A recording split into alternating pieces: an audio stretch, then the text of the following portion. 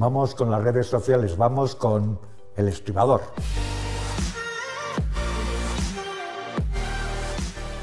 Anchón Benito, director de Sharing Brands, ¿qué nos traes hoy? Muy buenas, Roberto. Pues otra vez eh, en, remoto.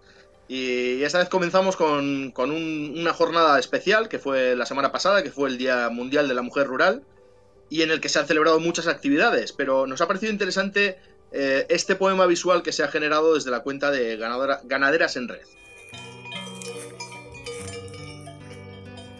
Mujeres, aquí tenéis vuestra casa en las montañas. En ella, las mujeres, tan dispares, tan diferentes, tienen un punto de encuentro. Aquí la paz se siente en la naturaleza, el amor a los animales, el sacrificio y la lucha.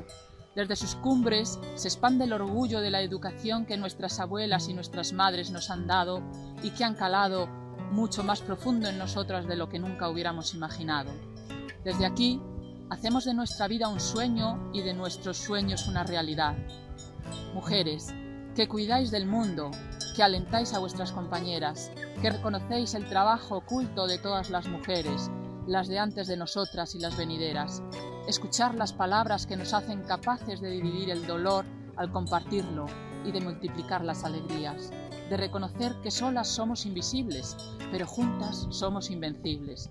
Mujeres, respeto, naturalidad, compartir, compañerismo, sororidad, planeta, tierra, equilibrio, esperanza, futuro, juntas. Mujeres valientes que transmitís fuerza invisible y compañerismo, cariño y empuje, amistad, que compartís grandes experiencias, que dais sentido al feminismo como una forma de actuar individualmente y luchar colectivamente.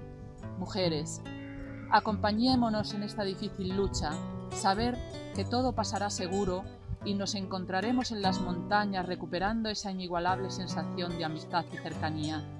Recuperaremos los abrazos, los besos, los cafés juntas, la sensación de disfrutar del detalle y atrás quedará el deseo de que pase todo para poder encontrarnos y dar miles de gracias.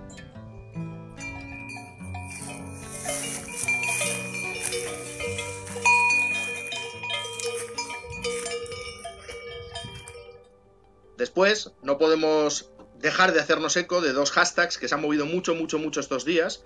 Uno de ellos es Yo paro por mi pueblo y otro es Sanidad Rural Digna.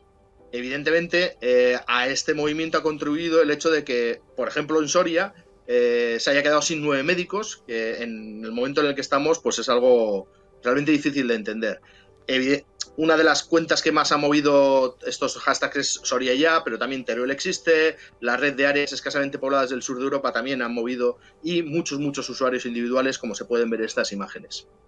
Y para terminar, del 6 al 8 de noviembre se va a celebrar el tercer Congreso de Periodismo y Repoblación de Urries, que este año tiene el título ¿Cómo está contando el periodismo rural el coronavirus? va a haber una quincena de ponentes eh, que, bueno, lo que van a intentar es explicar las diferentes coberturas realizadas en ponencias presenciales, evidentemente con aforos adaptados a los protocolos sanitarios, pero que también van a ser retransmitidas online. Y lo interesante es que el propósito de este congreso, que ya hemos dicho que es el, tercer año que, se que tiene lugar, es que van a intentar analizar cómo los medios de comunicación han contribuido a mejorar la convivencia en los pueblos mediante la información que han lanzado sobre la, la COVID-19.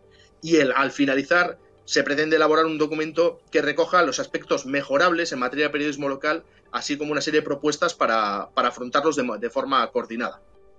Tengo muy buenos recuerdos de Urries cuando estuvimos el año pasado en la gira del autobús de la repoblación, eh, o sea que maravilloso. Creo que toca el turno de la influencer de la semana, ¿no?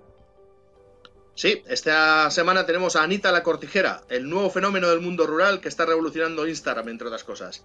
18 añitos tiene la granadina Ana María Martos, que transmite a través de Instagram, Facebook y YouTube su día a día en el mundo rural, desde su pueblo en Granada, que es Cantarranas. Pues yo soy de Cantarranas capital. Mira qué capital más hermosa, gente.